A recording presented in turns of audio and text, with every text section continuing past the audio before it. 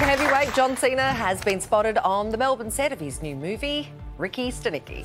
But locals have been left disappointed. There's been no sign of Cena's co star Zac Efron today.